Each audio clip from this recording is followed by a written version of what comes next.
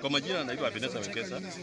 Mimi ndio chama wa Community Negotiators Association nikiwa kwa executive ya Bungoma Police Station. Wakati nimepata simu ilikuwa saa moja na na tano hivi, nikaambiwa mtu anapikiwa kwa nyumba ya wenyewe, amepatikana hapo akiwa akifanya mapenzi na mwenye pipi wa mwenyewe hiyo boma, ambayo boma ilikuwa inaitwa ya mtu anaitwa Wafungua. Sasa wakati nilikimbia nikafika hapa nikakuta iko umati ya watu wengi sana, ndio sasa ni kwenda kuona, nikaambia huyo usipige, komea hapo kwa sababu tuitie serikali ingie ndani ikusaidie uone ni kitendo gani hii kimefanyika kwa boma yako. Na nikamuuliza wewe ulikuwa wapi? Akasema mimi nilikuwa nimetoka na nimekuja kitu saa kumi na moja nikapata hao watu wako kwa kitanda yangu wanafanya mapenzi. Nikasema sasa wacha niite ni- mkasa, ndio nikapikia mkasa simu akakuja. So from there ndio tumecommunicate mpaka na polisi, tukaona wakuje wasaidie ili wapeleke hii jamaa kwa hospitali, kwa sababu alikuwa amemvunja mkono. Yani hayo tu. Mimi naitwa Patrick Wafula Mkonyole, ndio naongoza hii mitaa ya Ngachi. Hii area hatujawahi kuona mambo kama hii ikitokea, lakini leo nimeshangaa sana.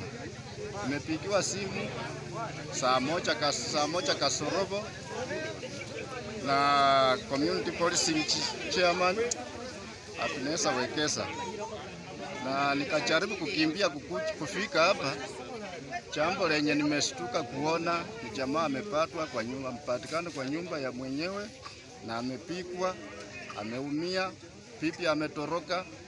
Tumejaribu kupeleleza, tukaona huyu jamaa atumii pombe, mtu anatumia tu chai. Sasa tumeshindwa nini ilikuwa inaendelea kwake, na huku sisi tunasemanga watu wenye wanatumia pombe pengine wakilewa ndio wanajisahau. Tumekuwa na kushangaa sana hata ukiona hii umati yote pia iko na wasiwasi. Jamaa huyu ni jirani wa hapa chini, Mimi tulisikia ripoti wakasema wako wanapika mtu hapo chini. Vile nitukuja kweli, nikashuhudia nikaona kweli huyu ni mtu ni wa ukoo yangu, tena anaitwa Wafula. Nikaingia kwa nyumba nikamuita Wafula, wamekuumiza ama wamekufuruta hata mwili? Akasema hapana, wamenipika tu. Lakini sasa hiyo ni uchungu, tumesikia uchungu, lakini huyu mama ameenea kwa area kuleta tabia mbaya hata kwa watoto wadogo, akifanya tabia mbaya na analeta huyu mzee kuuawa bure, kuacha familia yake. Hii ni uchungu.